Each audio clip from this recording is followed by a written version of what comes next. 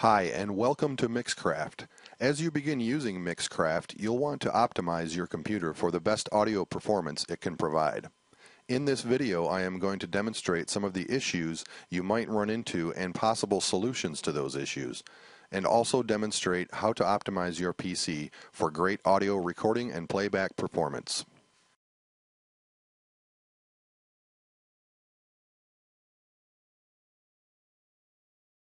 The first common issue I will address is called latency. Latency is usually not an issue unless you wish to monitor incoming audio. What this means is to hear through the computer speakers what you are recording as you record it, otherwise known as real time. I have my guitar connected to my computer through an audio interface. Let's arm track 1 to record the guitar. This is what Mixcraft will hear and record as you play. Which is fine, but since I am not connected to a guitar amplifier, I wish to hear what I am recording in real time. So I'll check the monitor incoming audio selection. Now I'll play some notes. Notice there is now a delay between the time I play the note and the time the computer plays it back. This happens because your computer's sound card is unable to process incoming and outgoing audio simultaneously. Here are some steps we can take to try to lower or eliminate latency. First we'll go into Mixcraft Preferences by clicking File, Preferences, and in the Sound Device area, notice I have the Wave driver selected. Also notice that Mixcraft displays latency in milliseconds. We are currently at 278 milliseconds. In order to lower that, I am going to lower the number of buffers and lower the buffer size. We'll lower the buffer size. That gets us down to 139 milliseconds. And we'll see how that sounds. There's still a delay, but it's not quite as long. So we'll go back into preferences and we'll lower the number of buffers. Right now we're at 12.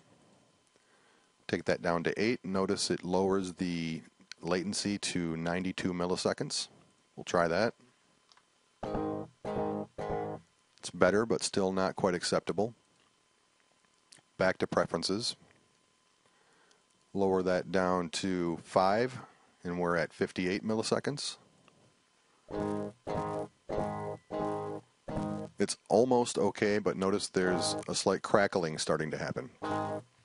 That's because your computer's processor now has to take over and help the sound card.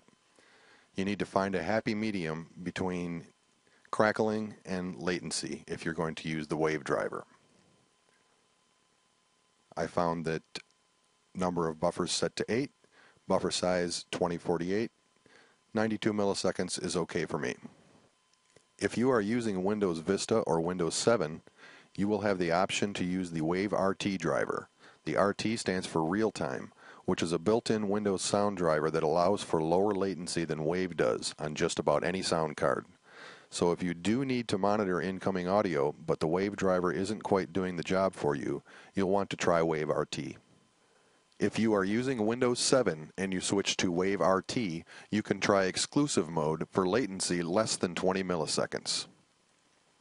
Activating exclusive mode requires Mixcraft to take exclusive control of your sound device.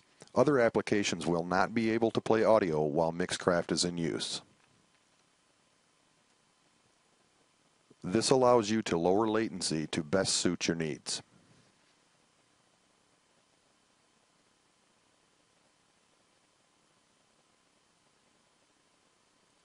Lastly, if you have a sound card or audio interface installed which comes with an ASIO driver, you can try that too. The ASIO driver is made specifically for your sound device and can deliver ultra low or no latency at all. I will switch to the ASIO driver for my M-Audio card. And again, arm the track to record my guitar. Select monitor incoming audio. Notice there is practically no latency at all. If you have a sound device which came with an ASIO driver, you can select ASIO, Click Open Mixer, which will call up your ASIO device control software. Here you can adjust samples or buffers for latency control.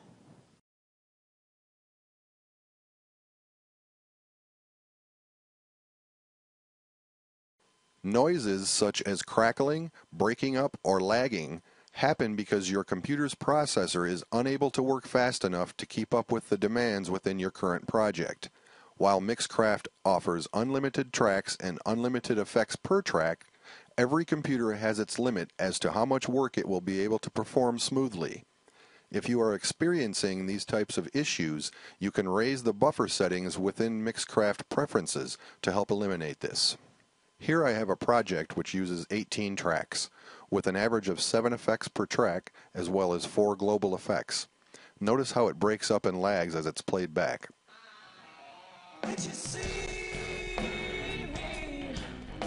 To compensate for this, I can go into Mixcraft Preferences under the Sound Device section and raise the number of buffers. Now we'll play that back.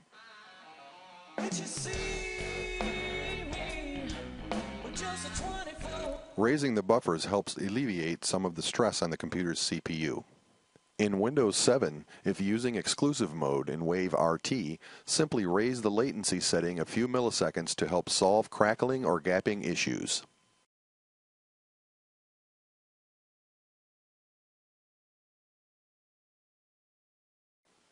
In order to free up processor resource for use while recording with Mixcraft, make sure to shut down any running programs you don't need to use at the time. I have a project open in Mixcraft which is using 50 tracks. Notice the bottom right corner of the Mixcraft window shows how much CPU resource Mixcraft is currently using. It also shows how much CPU resource in total is being used by your system. Notice the total is now about 73%. I'll close all other programs on my computer in order to gain CPU resource.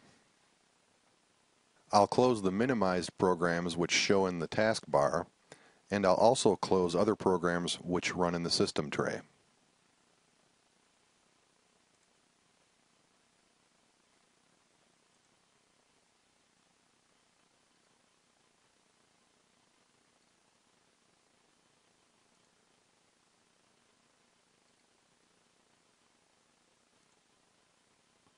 With all other programs closed, the system CPU usage has gone down considerably.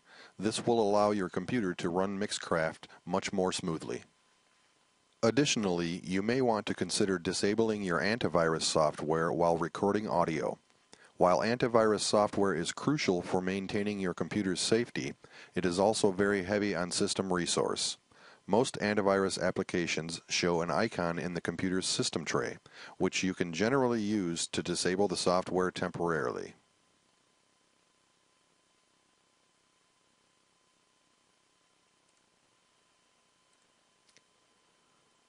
Make sure you don't check email or browse the internet while your antivirus software is disabled.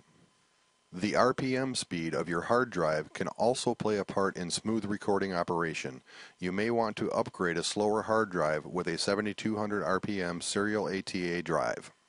While external hard drives are great for backup use, it is not recommended to set Mixcraft's recording directory to an external USB hard drive.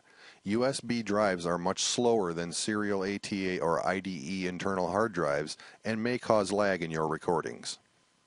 If you are currently using a USB connected audio interface and are facing lag issues when recording, you may want to consider purchasing an audio interface which connects using FireWire.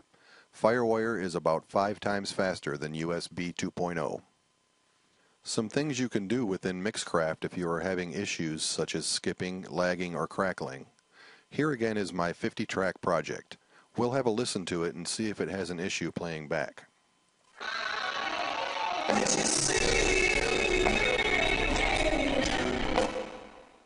Obviously, that's unacceptable. In order to lighten the load on my CPU, I'll first raise the buffers within Mixcraft preferences.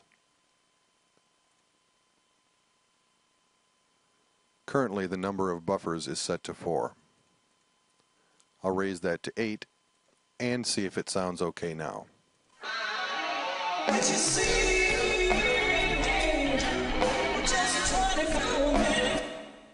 Another thing I can do to lighten the load on the processor is to freeze tracks that I am not currently working on. Right click on any track you want to freeze and select Freeze Track.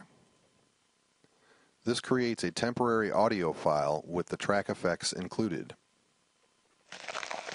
This allows Mixcraft to play back the track without having to render effects in real time. To unfreeze the track later, right click and choose Unfreeze Track. You can also set Mixcraft to conserve CPU mode, making it less demanding on your computer's graphics. Click File, Preferences, and in the Display section, click Conserve CPU mode. Using less effects per track will also help your project play back more smoothly.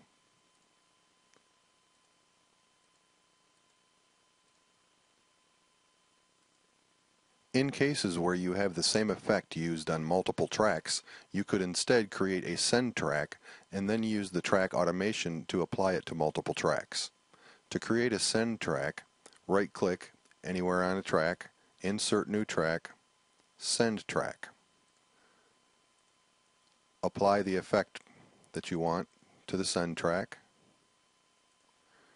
Choose the parameter of that effect that you would like to manipulate. And on the tracks you would like that effect to appear on, click the automation button, select the send track,